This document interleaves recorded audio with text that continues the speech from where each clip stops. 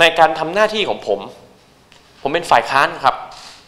แล้วผมก็ทำหน้าที่ของผมในการตรวจสอบรัฐบาลตามกฎหมาย แต่ผมต้องยืนยันว่าในการทุจริตคอร์รัปชันใดๆก็แล้วแต่เนี่ยของรัฐบาลเนี่ยเขาทำคนเดียวไม่ได้ มันต้องมีคนอื่นเกี่ยวข้อง ดังนั้นเมื่อผมทำหน้าที่ในฐานะที่ผมเป็นสสนะครับ มันก็ต้องเป็นแบบนี้ ทีนี้การที่จะไปสงสัยสื่อมวลชนที่เขาเผยแพร่ตามพยานหลักฐาน ไปสงสัยนะครับพันตำรวจโทมานะพงศ์นะครับไปสงสัยนะครับลามไปถึงว่าที่ผู้สมัครสสของพรรคก้าวไกลที่ลงในเขตสายไหมคือคุณศศินันเนี่ยคือพูดกันจริง ๆ นะ มันหักล้างพยานหลักฐานที่ผม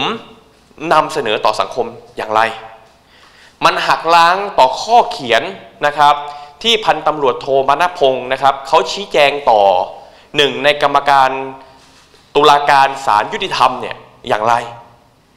การที่คุณบอกว่ามันอยู่ภายใต้แรงจูงใจทางการเมืองเนี่ยนะครับ มันไม่ได้หักล้านหลักฐานอะไรของพวกเราเลยนะครับ แล้วผมผมคิดว่าอย่างพันตำรวจโทมานพงศ์นะครับ คือถ้าเกิดเขาเลือกได้เขาไม่เอาทุกอย่างของชีวิตเขาอะครับมาแลกแบบนี้หรอกฮะคือตัวเขาเองเนี่ยผมก็เชื่อนะตำรวจนะครับ ที่อายุอนาประมาณเนี้ยนะครับผมเข้าใจว่าอายุเขาไม่เยอะเนี่ยเขายังมีอนาคตอีกไกลเขามาเจอแบบเนี้ยนะครับ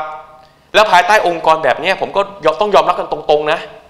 ว่าถ้าเกิดโครงสร้างตำรวจมันไม่เปลี่ยนมันยังเป็นแบบนี้ต่อไปเรื่อยๆอะ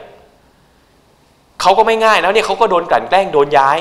ถึงจะบอกนะว่าย้ายไปอยู่ที่สอนอพญาไทเกรดไม่ต่างกันแต่ประธานโทษนะฮะสอนอพญาไทมีพื้นที่ครอบคลุมแค่พญาไทในขณะที่นครบาลมันมีพื้นที่ใหญ่กว่าอีกตั้งเยอะ นะครับยังไงมันก็ลดมันก็เป็นการดาวเกรด มันก็เป็นการลดเกรดอยู่ดี แล้วลองไปดูผู้กำกับอะฮะที่เขาโดนนะฮะคุณย้ายเขาไปที่ชัยภูมิ สุดท้ายเจอกระแสสังคมนะครับ คุณย้ายกลับมาที่เจเล แล้วถามว่างานเจเลกับงานงานที่เขาเคยทำอยู่ต่างกันไหมอะมันต่างกันอย่างสิ้นเชิง ดังนั้นนะครับผมคิดว่าไม่มีใครนะครับ ที่เขาอยากจะออกมานะครับเสี่ยงแบบนี้หรอก แต่เพราะเรื่องนี้นะครับมันกำลังทำลายความเชื่อเชื่อถือและศรัทธาของประชาชน อย่าคิดว่าคนอื่นจะเหมือนกับตัวเองฮะสำหรับสวอุปกิจนะครับ ในส่วนของทนายแจมนะครับ ใช่ครับเขาลงสเขาลงว่าเป็นว่าที่ผู้สมัครสสของพรรคก้าวไกลนะครับ สามีของเขานะครับเป็นนายตำรวจนะครับ และผมก็เข้าใจว่าสามีของเขาก็คือเพื่อนของพันตำรวจโทมานะพงศ์ แต่รุ่นรุ่นหนึ่งมันมีตำรวจเป็นกี่คนนะครับ และอย่างที่ผมยืนยันก็คือว่าการที่คุณจะเบี่ยงประเด็นเป็นในเรื่องของว่ามันมีแรงจูงใจทางการเมืองอะแต่ในท้ายที่สุดมันก็ไม่หักล้างพยานหลักฐาน ผมคิดว่าเรื่องนี้เป็นเรื่องสำคัญ ส่วนสื่อมวลชน อันนี้ก็ไปกันใหญ่นะครับ สื่อมวลชนในประเทศนี้นะครับ มีคือเขาก็มีความคิดของเขาครับเขาก็มีทัศนคติของเขาเวลาเขามองเขาก็เป็นพลเมืองของประเทศนี้ ดังนั้นเนี่ยการที่คุณจะไปบอกว่าเขามีความคิดแบบนั้น แล้วเขาก็จะต้องใส่ร้ายคุณเนี่ยคือผมก็ยืนยันอยากจะคิดว่าคนอื่นจะเหมือนตัวเองนะครับยืนยันว่าการทำหน้าที่ของผมนะครับ มันเป็นการทำหน้าที่เพื่อตรวจสอบนะครับรัฐบาลนะครับ แล้วก็มันก็เกี่ยวพันไปกับสวประกิจเอาผมบอกให้ง่ายๆ ก็ได้ผมชี้เป้านะครับ เอกสารเจ็ดหน้าหลุดมาจากไหน หลุดที่ศาลครับ ผมผมรู้ว่าหลุดที่ไหน นะครับไม่ได้หลุดมาจากพันตำรวจโทมนัพงศ์ไม่ได้หลุดมาในชั้นตำรวจครับ หลุดที่ศาลครับ ไปดูในผู้พิพากษากันเองนะครับ แล้วส่วนหลักฐานพยานหลักฐานของผมจำนวนไม่น้อยนะครับ สวอุปกิจต้องสำรวจคนใกล้ตัวนะครับ ผมถือว่าการทำหน้าที่ตรงนี้นะครับ ก็เป็นทำหน้าที่ส่วนหนึ่งนะครับของการทำหน้าที่สสในสภา แม้ว่าวันนี้อาจจะเป็นวันสุดท้ายนะครับของการปฏิบัติหน้าที่สสก็ตาม พี่น้องสื่อมวลชนครับ ในขั้นตอนต่อไปหลังจากที่ทุกท่านคงได้เห็นสวทรงเอหรือสวอุปกิจเนี่ยนะครับออกมาแถลงข่าวแล้ว มันมีหลากหลายประเด็นนะครับ สิ่งที่ผมจะดำเนินการต่อไปนะครับ ภายในสัปดาห์นี้ ซึ่งอยากจะแถลงให้พี่น้องสื่อมวลชนได้ทราบเนี่ยจะมีด้วยกัน 4 ประเด็นด้วยกันนะครับ ประเด็นแรกนะครับในวันพรุ่งนี้นะครับที่สำนักงานอายการสูงสุดนะครับ ผมจะเดินทางนะครับไปที่สำนักงานอายการนะครับ เพื่อให้ปากคำเนื่องจากว่าคดีนี้เป็นคดีนอกราชนะครับ ทางอายการสูงสุดเนี่ยนะครับเเป็นเป็นผู้รับผิดชอบดูแลสูงสุดสำหรับคดีนี้นะครับ แล้วผมก็ได้รับการประสานงานเบื้องต้นนะครับว่าให้ไปให้การนะครับ เนื่องจากว่าเป็นผู้ที่มีข้อมูลและก็เป็นผู้ที่เปิดนะครับการอภิปรายในเรื่องนี้ ผมเองก็ตั้งใจนะครับในวันพรุ่งนี้เวลาบ่ายโมงเนี่ยเพื่อเดินทางไปแล้วก็ให้ข้อมูลดังกล่าว ซึ่งก็หวังว่านะครับจะเป็นการให้ข้อมูลที่เป็นประโยชน์ และนำไปสู่การสร้างกระบวนการยุติธรรมที่เป็นธรรม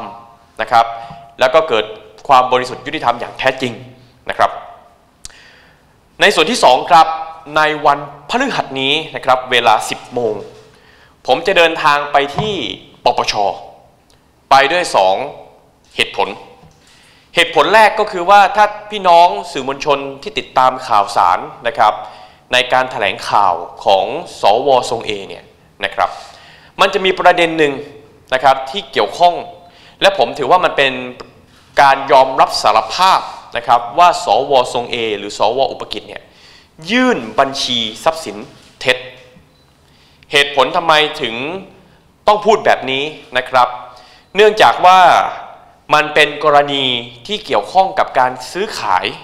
โรงแรมที่ชื่อว่าอัลลัวรีสอร์ทนะครับที่ตั้งอยู่ที่ท่าขี้เหล็กนะครับ ซึ่งก่อนหน้านี้ผมเคยออกมาแฉแล้วรอบหนึ่งนะครับว่าการซื้อขายดังกล่าวเนี่ยในท้ายที่สุดเนี่ยนะครับ ไม่ได้มีการซื้อขายให้กับคุณชาคริตเนื่องจากว่าคุณชาคริตคุณชาคริตเนี่ยนะครับเคยให้ปากคำครับว่าตัวเองไม่มีเงินในการซื้อขายโรงแรม แต่ปรากฏว่าตัวคุณอุปกิจเนี่ยนะครับกับเอาสัญญาซื้อขายนะครับระหว่างคุณชาคริตและตัวคุณคุณอุปกิจเองเนี่ยไปยื่นปปชว่าโรงแรมดังกล่าวตัวเองได้ขายไปแล้ว แล้วก็แสดงเป็นหลักฐานนะครับว่ามีเงินอยู่ในบัญชีที่ประเทศกัมพูชา 8 ล้านกว่าเหรียญเนี่ยยื่นไปปปชไปที่ปปชด้วย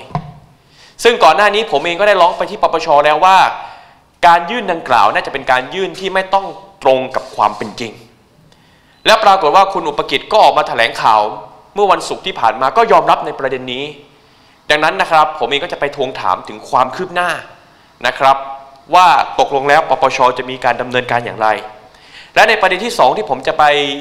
นะครับ ยื่นต่อปปชก็คือว่า คดีนี้เนี่ยเนื่องจากมันมีการถอนหมายจับนะครับ ซึ่งผมคิดว่าการถอนหมายจับดังกล่าวเนี่ยมันมีประเด็นในเรื่องของความชอบด้วยกฎหมาย ดังนั้นนะครับเป็นอำนาจของปปชครับที่จะมีการดำเนินการนะครับตามกฎหมายต่อไป ต่อผู้พิพากษาที่เกี่ยวข้องทั้ง 3 คน ไม่ว่าจะเป็นอธิบดีศาลรองอธิบดีศาลและผู้พิพากษาเวรดังนั้นนะครับผมจะไปร้องปปชนะครับเพื่อให้ทางปปชได้มีการตรวจสอบในเรื่องนี้ต่อไป ประเด็นที่ 3 ครับ เป็นประเด็นที่ อาจจะเรียกว่าสังคมอาจจะไม่ได้ติดตามกันต่อนะครับ คือถึงแม้เราจะกำลังถกเถียงกันว่าในการดำเนินคดีกับสวทรงเอเนี่ยมันเป็นไปโดยชอบด้วยกฎหมายหรือไม่นะครับ แต่สิ่งหนึ่งที่พี่น้องสื่อมวลชนต้องทราบนะครับว่าภายใต้ที่กำลังถกเถียง แล้วก็สุดท้ายเนี่ยการดำเนินคดียังไม่ถึงไหนเนี่ยแต่บัญชีเงินต่างๆที่ถูกโอนไปยัง การไฟฟ้าเนี่ยนะครับซึ่งเป็นบัญชีที่สรุปกันแล้วว่าเป็นบัญชีม้าเนี่ยเผลอๆยังมีการใช้กันอยู่นะครับ ยังมีการโอนเงินกันอยู่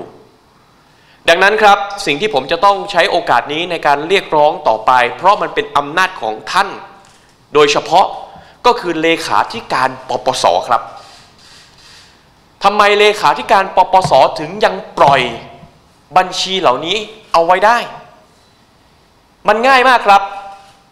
ถ้าไปดูนะครับว่าเงินที่จะต้องโอนเพื่อชำระค่าไฟเนี่ยนะครับ เรารู้อยู่แล้วว่ามันเงินตรงนี้มันต้องมาจากบริษัทไหน แต่ในเมื่อการชำระมันดันเป็นบัญชีอื่น ๆจำนวนมากเป็นนับร้อยบัญชีเนี่ยแล้ววันนี้ก็มีข้อเท็จจริงที่มันปรากฏแล้วว่ามันบัญชีหลายบัญชีมันเกี่ยวข้องกับกับยาเสพติดเนี่ยทำไมเลขาธิการปปสถึงไม่ปิดบัญชีเหล่านี้ หรือทำไมไม่อายัดบัญชีเหล่านี้ทำไมท่านถึงไม่ใช้อำนาจที่ท่านมี ตามกฎหมายในการดำเนินการอะไรเลย แล้วเผลอๆเงินจากบัญชีเหล่านี้ก็อาจจะยังเข้าสู่การไฟฟ้าแม่สายก็ได้ นี่คือประเด็นที่หนึ่งที่ที่เลขาธิการปปสนะครับ ผมพบว่าท่านไม่ทำอะไรแล้วลอยตัวอยู่เหนือปัญหา ประเด็นที่สองก็คือว่าวันนี้เนี่ยเราทราบกันแล้วว่าบริษัทอัลลัว P&E เนี่ยตกเป็นผู้ต้องหาแล้ว ตกเป็นผู้ต้องหาแล้วนะครับ แต่ว่าสัญญาซื้อขายไฟฟ้าเนี่ยซึ่งทำโดยการไฟฟ้าแม่สายกับอัลลัว P&E เนี่ยมันยังคงอยู่ แล้วสัญญานี้ก็ยังคงใช้บังคับกันอยู่ ไฟฟ้าก็ยังส่งต่อไปที่ท่าขี้เหล็กอยู่ทำไมถึงปล่อยกระบวนการแบบนี้เกิดขึ้น เท่ากับว่าการไฟฟ้าแม่สาย กำลังจะสมรู้ร่วมคิดกับขบวนการค้ายาเสพติดหรือไม่ เพราะบริษัทอัลลัว P&E นะครับ ตกเป็นผู้ต้องหาของคดีนี้ไปแล้ว ถ้าท่านกังวลนะครับ ถ้าท่านกังวลว่าการหยุดจ่ายไฟนะครับ มันจะก่อความเดือดร้อนต่อพี่น้อง ชาวเมียนมาที่ท่าขี้เหล็กจริง เลขาธิการปปสนะครับ มีอำนาจในการยึดกิจการมาก่อนนะครับ จนกว่าคดีจะสิ้นสุดก็คือยึดกิจการของอัลลัวพีแอนอีการปล่อยไว้แบบนี้ไปเรื่อย ๆ นะครับ เท่ากับว่า ขบวนการค้ายาเสพติดตัวโครงสร้างเนี่ยนะครับ ของขบวนการค้ายาเสพติดมันยังคงอยู่ เท่ากับว่า แม้เราจะมีการจับกลุ่มนะครับ ผู้ที่เกี่ยวข้องกับการค้ายาแต่ขบวนการเหล่านี้ไม่ได้ถูกทำลาย การไฟฟ้าแม่สายก็มีส่วนในการสนับสนุนขบวนการค้ายาเสพติด ไม่ทางใดก็ทางหนึ่งนะครับ เลขาธิการปปสตัวท่านเองมีอำนาจตั้งหลายอย่าง แต่ท่านไม่ทำอะไรเลย แล้วลอยตัวเหนือปัญหาต่อไป พวกเราในฐานะนักการเมืองเราลงพื้นที่นะครับ เราพบปะพี่น้องประชาชนทุกคนพูดกันอย่างชัดเจนครับ ว่าวันนี้ปัญหายาเสพติดร้ายแรงและยาเสพติดถูกลงอย่างเห็นได้ชัด ผมมั่นใจว่าขบวนการค้ายาเสพติดเหล่านี้ มีส่วนสำคัญ ที่ทำให้เกิดปัญหายาเสพติดระบาดจนถึงปัจจุบัน ดังนั้นครับ ผมจึงขอใช้โอกาสนี้ คือหนึ่งนะครับ การไฟฟ้าแม่สายต้องทบทวนสัญญา นะครับ เพราะปล่อยต่อไปแบบนี้นะครับ ในอนาคตท่านมีสิทธิ์ถูกดำเนินคดีไม่ได้แตกต่างอะไรกับขบวนการค้ายาเสพติดนะครับ เพราะท่านรู้อยู่แล้วว่าอัลลัวพีเอ็นอีเกี่ยวข้องกับขบวนการนี้และเป็นผู้ต้องหาแล้วสองครับสิ่งที่ผมต้องคาดหวังก็คือเลขาธิการปปสท่านมีอำนาจในการดำเนินการตามกฎหมายทำหน้าที่ของท่านเถอะครับ ทำหน้าที่ของท่าน อย่าทำตัวเป็นเหมือนกับองค์กรอื่นๆนะครับ ที่ลอยตัวอยู่เหนือปัญหา มิเช่นนั้นนะครับ ท่านอาจจะถูกดำเนินคดีไม่ทางใดทางหนึ่งก็ได้นะครับ ก็สรุปนะครับ สัปดาห์นี้ผมคงไปที่ปปช และไปที่อายการ